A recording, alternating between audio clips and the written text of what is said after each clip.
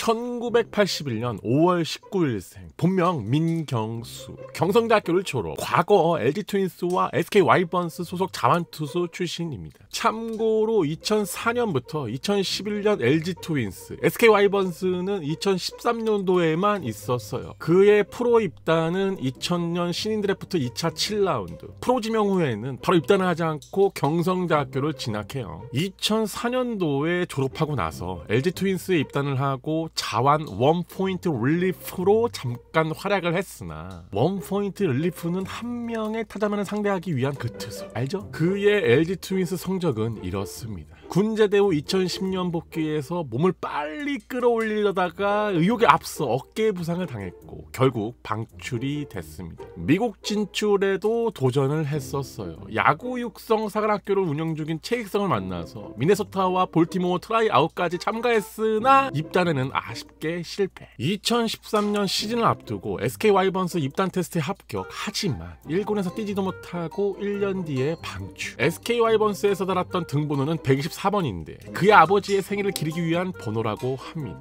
은퇴 후에는 헬스클럽에서 매니저 겸 트레이너로 근무. 현재는 민경수의 야구 연구소 원장으로 근무하고 있어요. 이번 나는 솔로 14기 40대 특집에서 그의 이름은 경수. 본명과 가명이 맞아 떨어져서 장안의 화제는 모르겠네요. 반박씨, 당신의 말이 맞아요.